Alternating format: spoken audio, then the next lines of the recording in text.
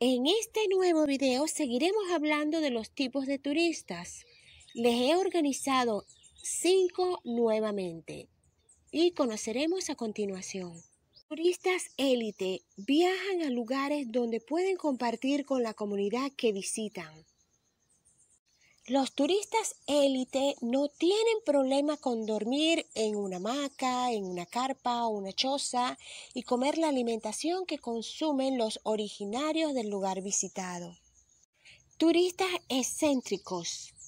Ellos viajan a lugares diferentes buscando nuevas emociones, incluso experiencias místicas. Los turistas excéntricos viajan en grupos muy reducidos y se adaptan fácilmente al lugar visitado. Turistas peregrinos.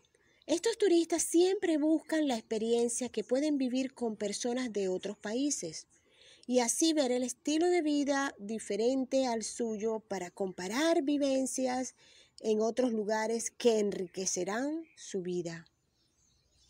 Turistas inusuales.